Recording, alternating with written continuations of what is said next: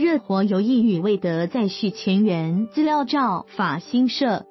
体育中心综合报道：三十五岁老将魏德 （Dwayne Wade） 上季离开待了十三年的热火，签下两年新约，返乡为公牛效力。然而，公牛迈入重建期，让人想再拼冠军的魏德萌生去意。美媒报道，热火有兴趣签回魏德，补偿板凳战力。魏德上季与公牛签下两年四千七百万美元，约新台币十四。一亿元合约来计上有年薪两千三百八十万美元，约新台币七一亿带领。然而展开重建的公牛日前送走好友巴特勒 Jimmy Butler，魏德想买断合约离开的传闻随之四起，而魏德本人并未否认。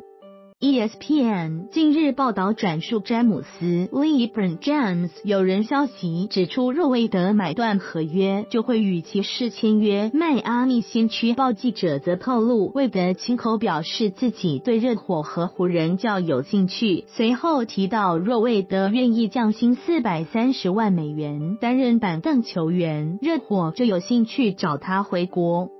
对于外界猜测他想买断合约离开公牛的传言，魏德始终没有否认。日前受访时透露自己想在职涯结束前再拼总冠军，但目前他并不在这个位置上，因为公牛正在重建，盼能回到得以力拼总冠军的应许之地。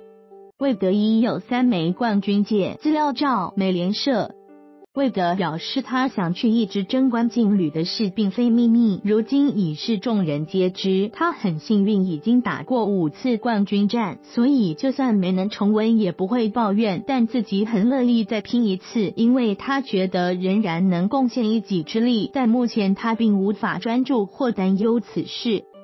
面对记者直接提问是否想买断合约，魏德回应自己迟迟没有表态是有原因的，因为他不想反复其词，目前的时间点并不恰当。近日回芝加哥与球团坐下来讨论后，就会开诚布公。我已经三十五岁，是个成熟男人了，我会坐着好好听球团实话实说，希望他们也能听我说。